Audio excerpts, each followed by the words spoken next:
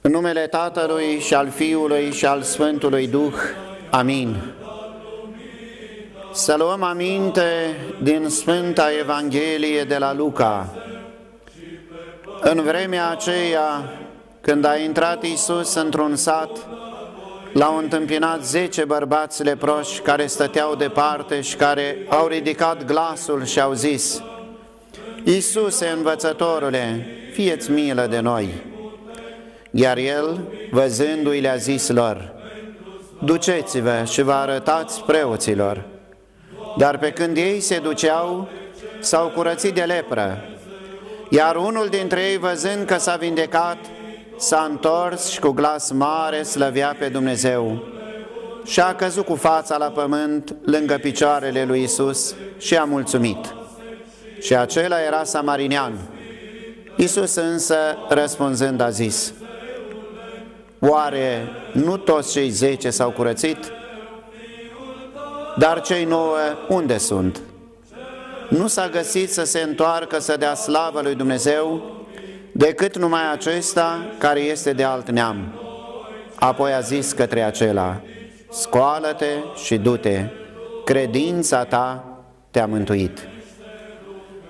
Ne aflăm, iubiți credincioși și credincioase, cu ajutorul Bunului Dumnezeu, în duminica a 29-a după pogorârea Duhului Sfânt, în această duminică în care Sfânta Biserică a rânduit să fie citită această pericopă evanghelică de la Sfântul Evanghelist Luca, capitol 8, versetele 12 la 19. Prin intermediul acestei Sfinte Evanghelii care s-a citit, ne-am întâlnit din nou cu Mântuitorul Iisus Hristos, de data aceasta, vindecând pe cei zece leproși, acei zece bărbați care îl implorau, care îi cereau ajutorul, care de departe, când l-au văzut și l-au cunoscut, au strigat, Iisuse învățătorule, fieți milă de noi!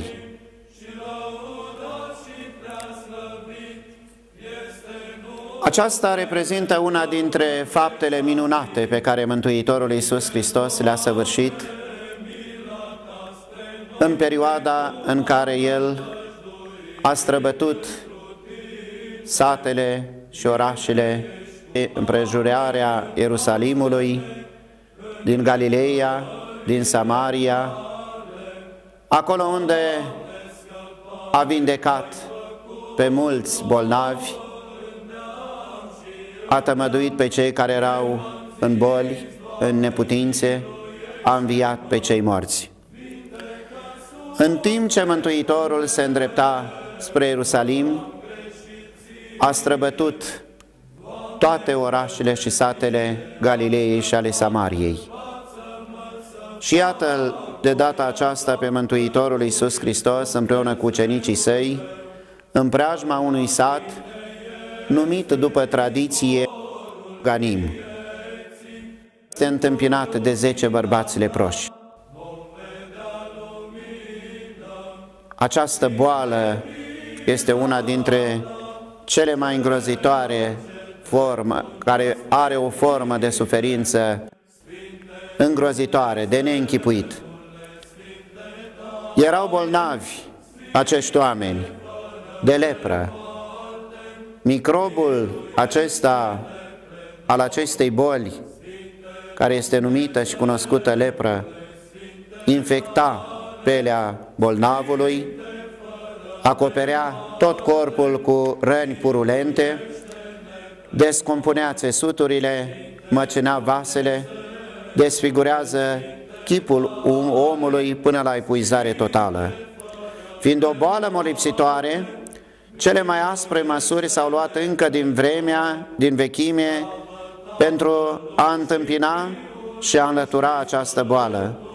Însă și legea lui Moise poruncește ca leproșii să fie îndepărtați și izolați de orice așezare omenească. Găsim acest lucru în uh, cartea Numerii, capitolul 5, versetele 1-3. Scoși din, din sânul familiei și din societate și trimiși în locuri pustii, nelocuite, ei erau obligați ca la apropierea întâmplătoare a vreunei persoane să strige de la distanță, necurați, necurați. Într-un cuvânt, acești leproși erau niște oameni morți între cei vii. Auzind de minunile și de marea iubire a lui Dumnezeu față de oameni, acești leproși au îndrăznit să-i ajutorul Mântuitorului Hristos. Și ajutorul a venit într-un mod neașteptat. Văzând suferința, văzând durerea acestor oameni, Mântuitorul Iisus Hristos i-a trimis să se arate preoților. Iată ce spune Mântuitorul Iisus Hristos, Duceți-vă și vă arătați preoților. Și pe când se duceau ei, s-au curățit de lepră. Iată pe drumul acesta pe care ei l-au făcut spre biserica lor, spre preoții lor, ei s-au curățit de lepră. Unul dintre ei, văzând minunea care s-a întâmplat pe această cale, văzând că s-a vindecat și că nu mai are această durere și suferință în trupul său, s-a întors cu glas mare la Mântuitorul Iisus Hristos și a mulțumit pentru această binefacere. Cu alte cuvinte, și-a arătat recunoștința față de ajutorul pe care el îl primise de la Mântuitorul Iisus Hristos. Ceilalți nouă au rămas la casele lor, în familiile lor și s-au bucurat împreună cu cei ai lor, negândindu-se niciodată la această faptă de binefacere pe care Mântuitorul Iisus Hristos a făcut-o cu ei. Un lucru pe care trebuie să-l reținem, nu întâmplător Mântuitorul Iisus Hristos i-a îndemnat pe acești leproși să meargă să se arate preoților. Pentru că în acea vreme preoții erau cei care cunoșteau foarte bine boala, durerea și suferința fiecărui om. Cu alte cuvinte, preoții știau tot ce stă la baza acestei boli, la acestei suferințe. Cunoșteau pe toți bolnavii și ei erau cei care dădeau lămurire despre fiecare bolnav. Aici se vede cum Mântuitorul Iisus Hristos îi trimite la preoți și la biserică pentru a aduce mulțumire lui Dumnezeu pentru darul vindecării. Dar iată se întâmplă un lucru minunat. Doar unul dintre ei, care era de alt neam, Evanghelia ne spune că cei zece leproși erau formați din nouă iudei și un samarinean. Acest om de pe urmă, acest samarinean, cuprins de această recunoștință, cuprins de această bucurie pe care o trăia împreună cu familia sa s-a întors la Mântuitorul și a mulțumit pentru aceste daruri, pentru darul vindecării. Fapt ce îl determină pe Mântuitorul Iisus Hristos atunci când El vine și se așează în genunchi la picioarele Mântuitorului să întrebe Mântuitorul Iisus Hristos nu zece s-au vindecat, nu zece ați fost, nu zece bărbați leproși ați fost, ceilalți nouă unde sunt? Și iată Mântuitorul spune, nu s-a găsit să dea slavă lui Dumnezeu decât numai acest om care este de alt neam, care era de neam samarinean, cu totul diferit față de iudei. Știm că între iudei și samarineni nu era acea, nu se regăsea acea înțelegere, iar samarinenii erau considerați de către iudei ca fiind o, oameni provenind dintr-o lume păgână. Iată, legat de acest aspect, întâlnim în această Evanghelie două momente importante, și anume binefacerea pe care Dumnezeu o revarsă asupra noastră a oamenilor și darul recunoștinței pe care noi trebuie să-L oferim lui Dumnezeu ca răspuns la această vindecare, la această binefacere. Iată, Samarineanul ne arată, prin exemplul său, cum trebuie să-i mulțumim lui Dumnezeu pentru darurile frumoase pe care Dumnezeu le revarsă asupra noastră în viața noastră pe care o trăim pe pământul acesta. Și la prima vedere, nu putem noi oamenii să acuzăm sau să judecăm sau să ne dăm cu părerea despre felul cum s-au comportat acești nouă leproși. Sigur, vedem în atitudinea lor această nerecunoștință, această nemulțumire pe care ei o aveau față de binefăcătorul lor. Vedem și exemplul frumos în Samarinean, cum s-a întors și a mulțumit pentru această, acest dar al vindecării. Sub acest aspect eh, legat despre recunoștință, așa cum se spune într-un proverb, că recunoștința este o floare rară, iată ce spune uh, Sfântul Ioan Gură de Aur. Dumnezeu cere recunoștința noastră nu fiindcă are trebuință de ea, ci pentru a ne face vrednici de daruri mai mari din partea Lui. Cine mulțumește, acela câștigă mila lui Domnului cu un zecit prisos și cu tot mai spornică dobândă. Iată, Sfântul Ioan Gură de Aur ne spune și vorbește despre această recunoștință. Și aș aminti aici, legat de recunoștință, un fapt cu totul minunat. Din viața Sfântului Gerasim de la Iordan, cunoaștem scena de duioasă recunoștință a unui leu, căruia cuviosul părinte îi scosese o țeapă din laba piciorului.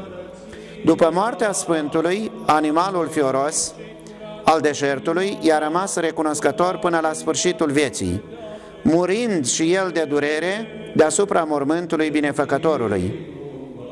Ceea ce leul și alte ființe asemănătoare fac din instinct, creștinul trebuie să împlinească din conștiință și credință, ca pe una dintre cele mai înalte și obligatorii porunci, ca expresia inimii sale simțitoare, delicate, atente și credincioase, ca un răspuns cu binecuvântări la binecuvântările pe care le primim de la Dumnezeu. Păcat mare este nerecunoștința față de părinți, atunci când nu le arătăm respectul și purtarea de grijă cuvenite pentru tot ceea ce au făcut pentru noi, când nu-i vizităm, nu-i ajutăm, de multe ori ne împotrivim dorințelor și vorbelor lor. Iată că recunoștința, iubiți credincioși credincioase, se reflectă și în relația noastră pe care o avem cu cei din jurul nostru, cu cei din familia noastră. Cu alte cuvinte, recunoștința ne îmbracă pe fiecare dintre noi și devine ca o haină frumoasă care ne deosebește de cei nerecunoscători.